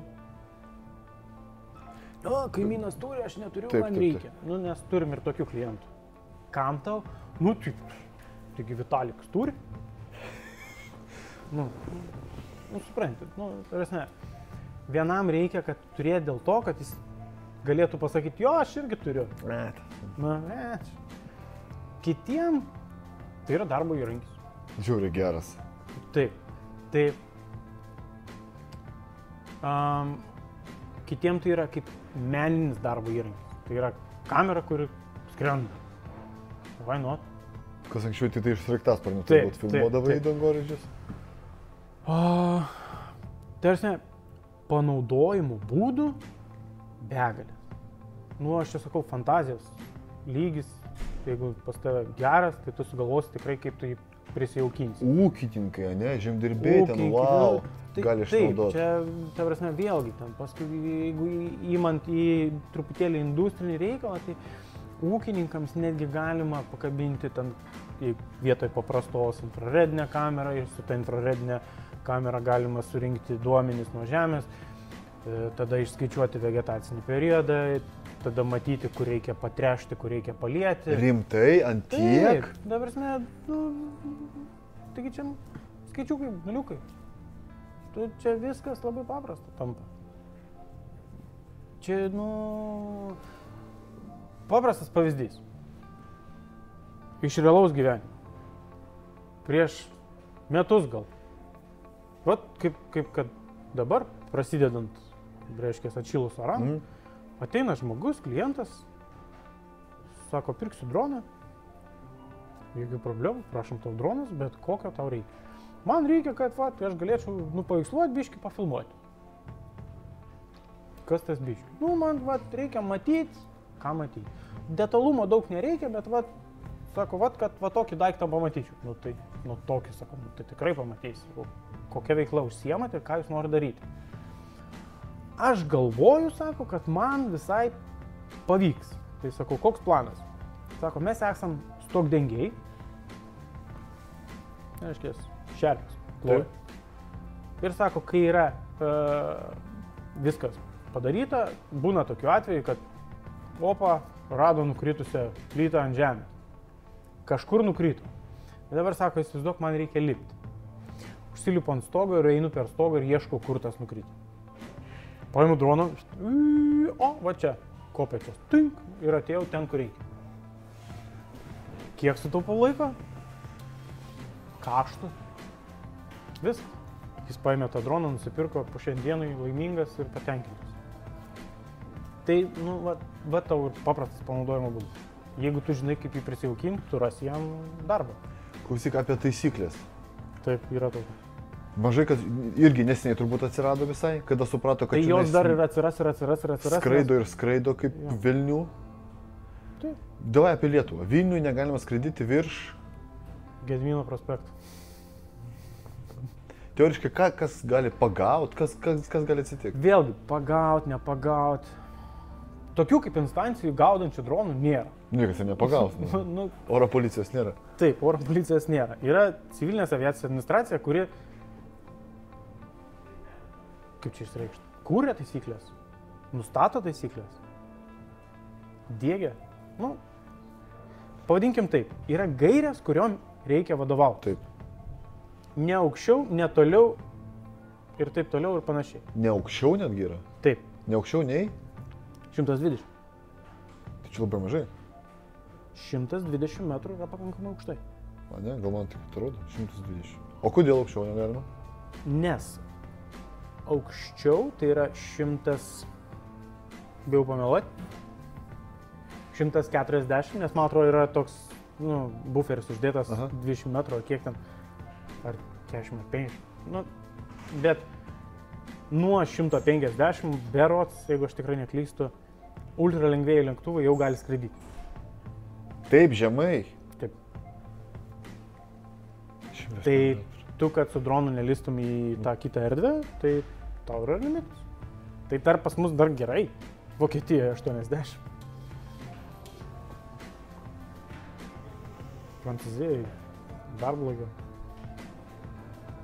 Prancūzijoje netgi šis Paryžius yra neskraidimo zona. Visas Paryžius. Taip. Nu, blem, bet tokie vaizdai, kaip jūs to nufilmuot.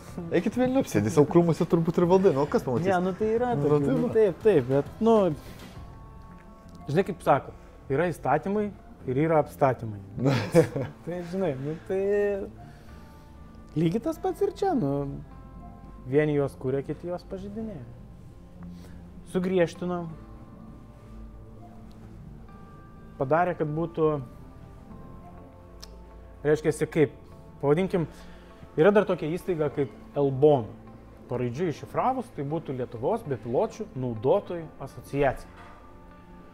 Aš, kolega ir Promaksa tapom vieni iš steigėjų, kuriejų ir, ir, ir, visos tos asociacijos nariai, kurie perėmė iš civilinės aviacijos administracijos, iš CIA, tokią funkciją. Reiškia, ta funkcija yra tai, kad mes egzaminuojame dronų pilotus. Tai gali būti bepilotis orlaivis, reiškia, labai jokinga pavadinimą pasakys, sukasparnis. Nu, o yra. Tai reiškia, tai yra tas dronas, kuris, Taip. kurį visi žino, tai Taip. yra sukasparnis. Arba fiksuotas sparnas. Nu, tai yra lėktuvėliai. A, nu, Nu, fiksuotas sparnas, Taip, taip, taip. nekinta, nu, tai dėl to taip ir vadinam. Reiškia, pilotus ir dronus mes egzaminuojam ir tada, kai mes išegzaminuojam, reiškia, yra tam tikros užduotis, ką reikia per egzaminą atlikti, yra tam tikros užduotis, kaip turi atrodyti dronas, ką jis turi atlaikyti kokį krūvį, kalbant apie fiksuotą sparną, tarkim. Ir panašiai. Tai kai mes tą atliekam visą, mes, taip sakant, surinkam šūsnį popierių ir tada atiduodam žmogui ir žmogus gali kreiptis į civilinės aviacijos administraciją prašydamas, leidimo. jis vadinasi išimtis, neleidimas, o išimtis. Ir aš taip nes, nesigilinant į ten punktus, Taip. bet jisai gali tada nusižengti kai kuriuom taisyklėm. Nu, Tie, kas norės susirasti, tikrai suras informacijos Mhm. tiek elbono.lt, tiek CIA.lt. Įmanoma rasti tos informacijos, Elbonui greičiau negu kad CIA. Tai žmogus, kuris vykdo komercinę veiklą, išimti tikrai turi turėti. Jeigu tu esi menininkas, fotografuoji dėl meno ir paskui darysi galeriją, jeigu tu laikaisi tų taisyklių, tu skraidyk, kiek tu nori. Net. Jo. Bet jeigu tu nori nusižengti tam tikrom taisyklėm, nu, būk mielas, malonus, išsilaikyk egzaminą, įsigyk draudimą, kas yra privaloma. Nu, civilinis draudimas, grubiai 100 eurų metam, reiškia, tarp kitko, brangiau nei mašinai.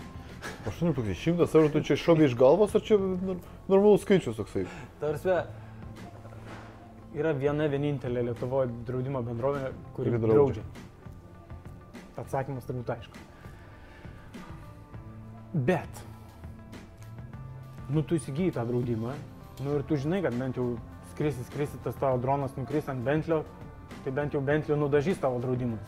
Nu nereikės iš paskutinių pinigų, žinai, Arba. va, vardant parodos dažyti bentlį, nu, supranti.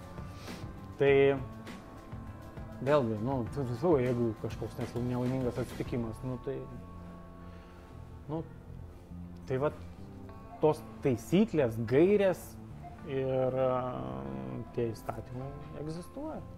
Klausyk, patys dronai, aš pasižiūrėjau, kad jie yra nuo tokių, nu aš nekalbu apie tos kinietiškus šūdus, nuo tokių tas pats Mavikas dabar, nu jisai pats Mhm. toksai, iki tų didžiulių, kur ten nublemba vaizdas turėtų Yra, atrodyt. yra tokių, nu, tarkim, kad ir mes savo arsenalę turim tokių, a, toks kodinis pavadinimas M600. Nu aš mačiau, ten kažkoks pterodaptilis toksai stovi. Jo, tai, tai jo vieno propelerio skersmuo yra 50 cm. Kiek ilgai jisai gali skraidyti? Vėlgi, jisai yra kaip darbo įrankis, kaip tu jį naudosi. Jeigu tu jį, kaip sakant, fully load, tai yra pilna ekipuotė. Triešiu, ne?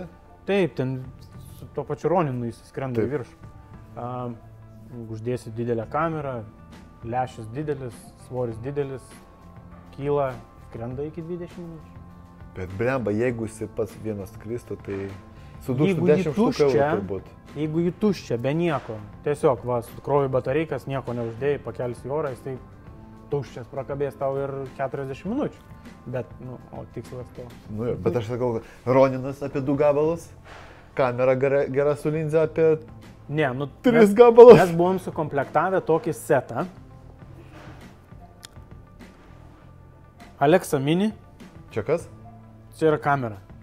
Nu, Google ir suprasi. Čia konkretus profesionalus jau įrankis. Taip. Nu, kino jos tai tinka. Supratau. Alexa Mini, tam tikras lešis jam, tada M600, Roninas. Roninas ir ten papildomi, pavadinkim, pribombasai, kurie gelbsti tave. Tai yra ten trigubas GPS ir taip toliau, dėl tikslumo ir taip toliau. Taip, taip. yra. Setupo piniginė išaiška apie 80. Mes norėjom jį pakelt, bet mes norėjom jį apdrausti. Niekas neapdraudė. Nu tai kas tau draus? Ir nieks 80 ne- gabalų. Ir mes nekėlėm. Nekėlėt. Ne, nu tai rizika per didelė. Bet pati kamera turbūt kokių kem kainuoja, ne? Mm. Kem gabalų. Jo, nu kosmosas. Bet kai jinai verta tiek pinigų, Labai. ką jinai daro tokiam? Nu, filmuoja. Bet pati kamera, ne lešio, pati kamera, ką jinai duoda. Nu, tai yra... Nu, Pat- patį flagmanas, srautą labai nu, didžiulį ta tokį prasme, suvaro. Nu, aš nesu tos ryties didelis specialistas, aš neišaiškinsiu tam tautų niuansų ir, žinai, galiu tarp fotoaparatų pasigilinti ir papasakoti, Aha. kas dėl ko ir su kuo, žinai, bet, nu, kino kameroje yra tam tikra specifika, matrica ir taip toliau, kitaip ten truputėlį viskas. Nu, tai yra, nu, flagmanas, nu, tai yra rimtas reikalas, ne, ne, ne, ne, ne šiaip. Bet jinai didžiulė ar tokia, vat, pavyzdžiui, kaip mano Ne, ne, Panasonic? nu, Nu, šiek tiek didesnė. Alexa mini, tai dėl to ir vadinasi mini, kad jinai maža. Yra Alexa paprasta, tai yra gera, žinai. Tu man papasakok, nu gerai, tu ne, nesi videografas, galvoju atsakyti, kokią velnio televiziją iki šiol filmuoja su tokiam bandūrom? Ką jie ten bando išgauti, kokį srautą? Ir netgi ir vaizdas pateikiamas net ne HD, nu come on, 480p. Jo, čia, čia, What the fuck? Čia jo, čia yra daug, daug niuansų, daug, daug juokų ir visokių kitokių e, reikalų, nes, kaip sako, jo, filmuojam 4K ir downgrade'inam iki 4.8. Duok aš tau su iPhone nufilmuosiu. Duok man šviesą, aš tau su iPhone nufilmuosiu. Tai, palauk, dabar galvoju. Švedija ar ne Švedija? mm, Kur aš čia skaičiau, apie tą pikselį skaičiau, kad buvo kažkuri tai televizija, atsisakė visų operatorių, kurie važinėja po reportažus, kur daro, žinai, mieste. Visus aprūpino iPhone 7 ir viskas. Tai Šviesos reikia ir viskas. Reikia šviesos ir kad ranka nedrebėtų. Arba didžiausias. Gimbalą gali pasidaryti. Nu, ir viskas. Nu. Tai, tai jo, nu, Bet aš pasižiūriu į kokybę ir tai, kaip jie sumontavo, kaip jie dažo tos Ne, tai kadrus televizijos. Yra žurnalistinis filmavimas, meninis filmavimas, aktyvus filmavimas. Bet žurnalistas, jis ten tiek vemalas. Man Nu, atrodo, iš, iš vis nekoreguoja spalvų. Tai va, Nu, žinai kaip sako, ką filmuoji galvas. yra pavyzdžiui ten. E, kaip kitas iš apačios išlenda, minimal, ta- kol išlenda pavyzdžiui, tas ir tas pašnekovas. Kaip buvo prieš 20 metų animacija tokia, nu, come on, nu Bet įsigykit pažiūrėk tą plaginą. Bet pasižiūrėk, dabar Lietuvos televizija, nu, labą dieną, pažiūrėk, kokią studiją turi. Matai, kokią studiją? Ne, aš nežiūriu teliko, gal. Nu, okay, aš lygiai taip pat kaip tu nežiūriu teliko, aš... Leiskit sugalvosiu. Teisingai nesugalvos, prisiminsiu. Kada atjungė... E, analogą? Aha. 12 gal. Nu tai nuo tada neturiu teliko. Nes tada jau taip nežiūrėdavau. Ir tada, kai atjungia ir tik... Blecha, tikrai atjungia. Sniegas, ir toks... Eh, tiek nuo. Rozetės. Ir nuo to laiko neturiu teliko. Tas, kas reikalinga, nu visada yra internete. Nu taip, taip, taip, absoliučiai. Tik tai jeigu O jie... kai pamatau teliką, tai man toks... Azartas, žinai, praeini ir jau antroji valanda, iki išgirsti septintą kartą tą pačią reklamą jau... Mhm.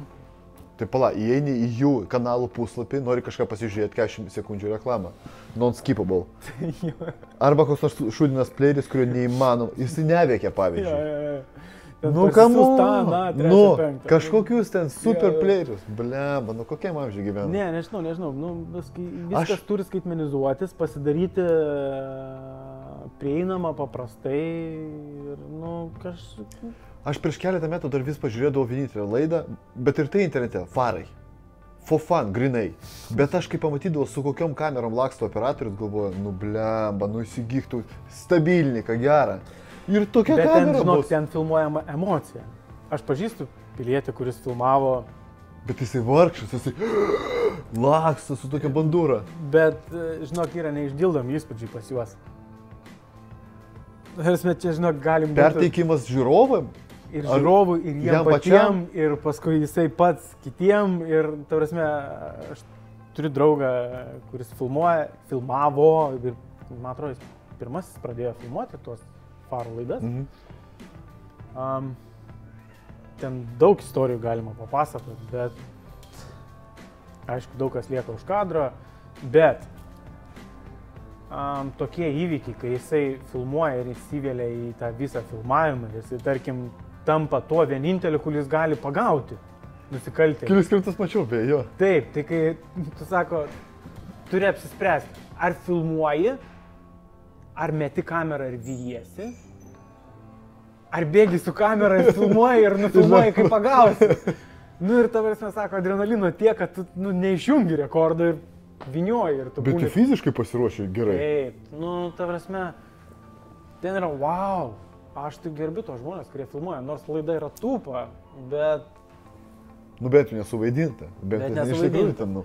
aišku, tai ten palyginus su, tarkim, angliška versija tų farų, nes ten yra tokia pat irgi laida, bet ten nu, kita intelekto grupiai tas, ta, ta laida, nes ten žiūri kaip į tokį wow, rimtai, o čia pažiūri tokią, nu, Nu, dramą komediją. Nu, susimušė ten. Jo, susimšė ten Ten tas. pyp, nedavė. pyp, viskas. Jo, pyp, pyp, pyp, to toks anoks ir ten, ten neapkaltintas tol, kol neapkaltina ten tas anas. Nu ir viskas, baigėsi. O ten žiūri istorijas tokias ir truputėlį siužetai ten kitokie. Ten, aš kaip pamenu, kai UK, kai mokiausi, nu, buvo tokių momentų, kada tikrai įsijungdavai ir pasižiūrėdavai ir aš nepamenu, kaip ten tikrai ta laida vadinasi, bet sužetas tas pats, policininkai ir tie kažkokie kitokie. Tai, nu, diena ir naktis ten tie policininkai. Ten jie dirba tą darbą ir jie ten, nu, nu jie va. Nu, tai juos ten gerbė. Jiems Taip. ten moka gerai. Jie tenais turi nu, privalumų įvairių taip, ten ir taip toliau. ten, kai, nu, kaip ten, kaip žinai, eina ir fotkinasi su jais, nes, nu, tipo gerbė. Nu, pas mus ateina nors vieną, kad eitų su policininku nusifotkint. Nu, nebent radi prikovų. Aš nežinau, žinau, čia galbūt pas mus krauja, arba galbūt kažkas papasakoja, arba galbūt kažkas pasakė, kad būtinai juos reikia negerti, būtinai ten mentai, loha, pydari ir taip toliau, žinai. Bet, nu, Žinai, iš kur tas yra? Tas yra iš... Mum parėjo nuo tas posovietinio. Nes nu prie sovieto, nu, nu milicija, tai Taip. čia jau taip. O po to pagarba po truputį, po truputį pas mus liktai auga, bet jeigu pati policija įsiveltų į tuos visus socialinius, reiškia, nu, procesus, kad e, viskas auktų, nu, aišku, jie dabar įsivelia ir vis dažniau jie atsiranda kažkokiuose renginiuose, kaip kad, nu, ne policija, o kaip pat renginio dalis. Taip. Sveikintina. Bet tai, Andriu, manau, kad daugelis, iki šiol, aš prieš tai jau kažkada sakiau, kad daugelis nesupranta, kas yra policija, kam jie reikalingi. Daugelis nesupranta, kad mes juos išlaikom, kad jie yra padaryti, jie yra, jie egzistuoja tam, kad padėt mums, nebaust, kad mes nebijotumėm, Mm. kad mes ne, pamatytum, pamat, pamatę juos neapsišiktumėm, kažkodėl, nežinau, kodėl bi- žmonės bijo. Tai jeigu jie suprastų, kad iš tikrųjų jie mums pagelbė, nu, tu skambini, man blogai, va tavo kliksmas, jie atvažiuoja, tau teoriškai padeda. Bet pas mane irgi buvo keli atvejai. Gyvenom prieš tai Karoliniškėse, ketvirtas Mhm. aukštas, didelė tokia aikštelė, viską matau. Karoliniškės ne vienas geresnių ra- rajonų, žinai, Nu, pastoja iš įlupa ir prasideda. Matau, kad e, trys ar keturiese mašinos sėdi, vieno turbūt arba mergina ar žmona buvo ir jisai muša, nu kažką, žinai, ten vos nestumd ir taip toliau. Skambinu policijai, sakau, smurtas prieš moterį, viskas ok, atlėkėm. 15-20 minučių, nėra, žinai, nieko. Skambinu dar kartą, taip, taip, taip, atlėkėm. Atlėkė, nieko nėra, žinai. Ta ji jau išėjo, žinai, namo. Nu, visiškai, žinai, nusispėl. O tai gerai, tai galbūt po minutės jisai suduos tokį smūgį, po kurio, žinai, jis jį ne, neatsitukės. Tai va, čia reakcijos laikas yra opus klausimas turbūt jiem patiem. Jeigu aš manau, kad tokių skambučių yra ne vienas ir ne du ir ne dešimt, Taip. tai vad, kai buvo laida viena apie skambučių centrą, tai truputėlį įnešė to supračio, kas ten vyksta. Nu, Kad ir kaip ir tie blogai pasibaigę įvykiai, kai ten kamantinėjo, kol kamantinėjo, nebebuvo ką Nu, sakant, ieškoti. Tai, nu, bet tokia realybė. Bet, nu, manau, kad viskas bus gerai. Nu, po truputį, po truputį, po truputį išsivystys ir mutuos į gerą. Žinai, ko reikia? Reikia gero įvaizdžio. Dabar pasižiūrėk, kaip tu sakė, kad labiau veliasi uh, Lietuvos policija į socialinius netgi tinklus. Gali užtaginti, pavyzdžiui, ir tipo, jau pranešta, Tarp kitko, atrašo. tarp kitko, policija, Facebook'e tai yra kažkas tokio. Viskas stebi. Ką jie tenai pasamdė ir kas dirba prie Facebook'o pas juos, tai ten didelis respektas. Ten kažkoks aštunkojus turbūt sėdi prie klavos. Tarsi, nėra taip, kad, na, nu, aišku, būna ten ir tupų žinučių, ten įmeta fotkę ir ten, va, čia Petras Rangelė saugo ten Prienų rajoną ir la la la. Nu, okei, okay, nu, fan, fan. Bet žinutės, kokia reakcija jų atsakymų, kaip teisingai atsako ir kokią teikia žinutę karts nuo karto, ten Čia kaip ir su VMI. Irgi geras prikolas. Pas kas kažkas ten paprikolino, tipo. Tak, VMI pranešta. Taip, viską gavom. Ir turbūt bičias sėdi ir... Fuck, ką daryti, žinai, dabar. Nu, bet tai, tai gerai, nu tai policija, VMI, žinai, sodra dar kokia prisidės, dar, dar, dar, dar. Nu visiems, nu, nu išeities nėra. Kalbant apie įvaizdį, ką norėjau pasakyti. Pamenį, dabar jau nėra to bičio. Farai buvo, faruose buvo vienas kietas bičias, policininkas, nepamenu jo pavardės. Kaunietis toksai. Didžiulis, kuris žiauriai e, mokėdavo Aš gerai. labai...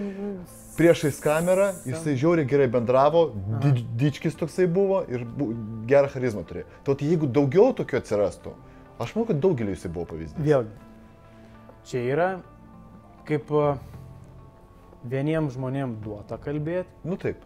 Kitiems yra duota darbus daryti, nekalb, nekalbėti. Tai Vykdytojai ir... jo, tai turiu, kaip sakant, savo draugų rate, kuriam, žinai, neduok pavalgyti, duok pakalbėti, o kitam geriau kalnus nugriauti, negu, žinai, čia kažką šnekėti. Nu ir, nu ir nu, niekaip tas žmogus negali nieko pasakyti. Jisai stovi, kol viskas ten, viskas, o mikrofonas ir Viskas. Tyla. jis viskas, jam šokas. Tai jeigu tu po truputį tą lavinsi, galbūt ir išsirutulios. Tai lygiai tas pats ir taip. Kaip ir tas draugas pasakoja. Nu, nu sako, pradėjom filmuoti faro laidas, nu tai papasakok. Nu tai atvarėm. Čia tas čirim bairum, tas buvo. Ir nu va, nu. Papasakoju. Tai čia žiūri žiūrovas, kuris nebuvo, nematė. Papasakoju. O, nu.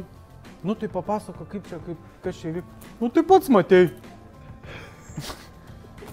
ir, ir supranti, nu, iškalbos reikia. Nu, ne visi jie turi. Taip. Nu, tai, žinai, irgi ten.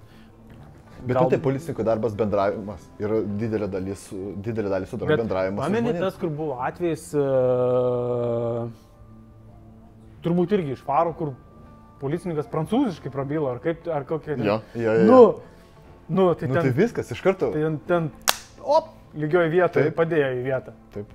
Ir kaip prisidėjo iš karto. Įvaizdis, viskas. Kad ne kažkoks ten debilas, kuris tik tai bananą turi ten ir viskas ir Nu. laksto. Tai va čia, žinai, tokie perliukai, kurie, nu, Unikumai, jo.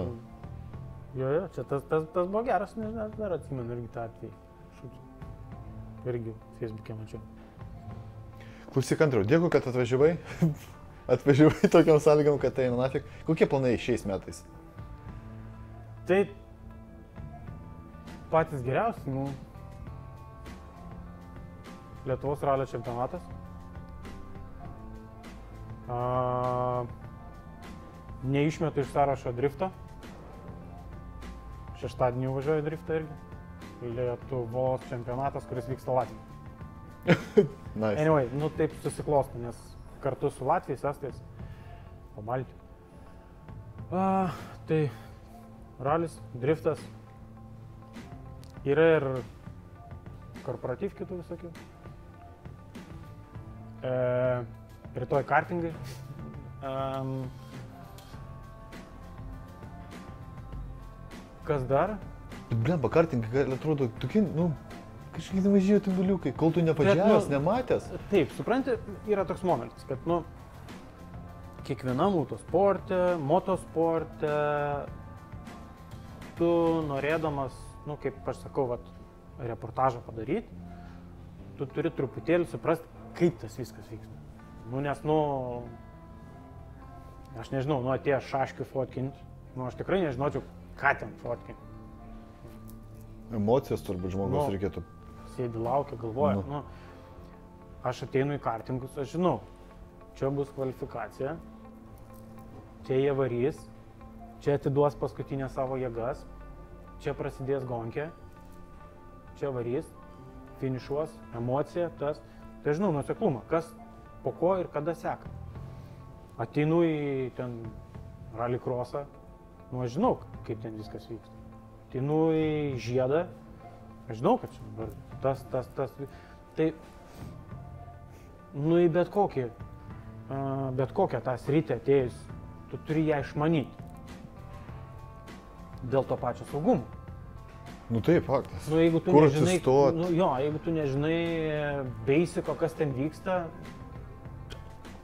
lygiai tas pats, va, grįžtant truputėlį prie UK, a, taip jau susiklostė ten visi reikalai, kad mane pasirinko a, iš grupės, reiškia, kad aš ateičiau į Richmondo tokį klubą, a, pafotkinti regbę. Nesu matęs, Neįsivaizduoju, girdėjęs? ką daryti. Sako, fotkinsit. No problem.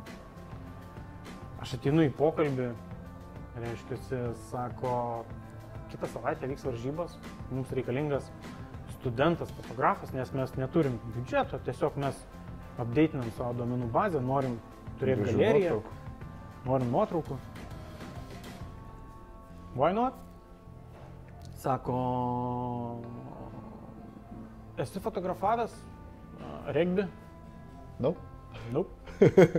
Bet, sakau, not difficult. Nu, sako, kaip ir ne. sakau, nu, ta prasme, futbolą fotografavęs, sakau, ten rinkamuolys yra, krepšinis, rinkamuolys yra, žmonės žaidžia. Ok, ok. Sukirtom rankom, sekančią savaitę einu fotografuoti.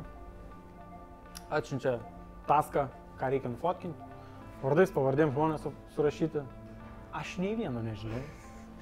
Aš tada pradedu žiūrėti, kas su kuo žaidžia. Pasirodo, žaidžia Anglija prieš Prancūziją. jau lengviau. Pusę nugi. Ta prasme, ta prasme, rimtos varžybos, ne šiaip kas, ten, žinai, kiemo varžybos. Nei vienos žvaigždės aš nepažįstu, nei vienos aš nežinau, aš nežinau net žaidimo taisyklių. Tai aš tas kelias dienas prieš YouTube visą peržiūrėjau, kas susijęs su taisyklėm. Lyderius visus susifotkinau ir susidėjau į telefoną. Ir tą dieną, kai reikėjo man paveiksluoti, aš atėjau, čiuk, vardas pavardė, aha, telefoną, čiuk, nuotrauką. Ir va taip vaikščiojau. Bet bleva, jie, a, jie be šalmų. Ne, tai be šalmų normalus. Jie ten normaliai atrodo. Jo, Jo. nemerkietiškas. Ir aš suprantu, va taip su tom nuotraukom ir... Aha, šitas. Yra, gerai, ček. Ir va taip, ir taip aš tą dieną fotkinu. Aš jam kai padavau rezultatą, Nice. sako, labai gerai, sako, kaip čia taip. Nu, aš savam stiliui perteikiau visą emociją.